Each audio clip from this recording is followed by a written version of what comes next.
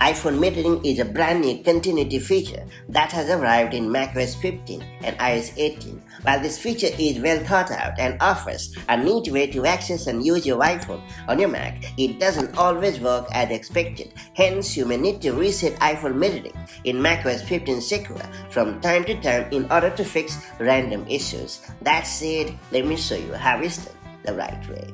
To get started, you have to click on the iPhone mirroring icon in your Mac's dock.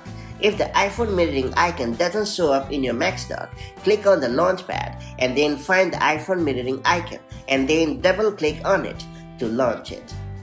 After that, you have to click on the iPhone mirroring option at the top left corner of the screen.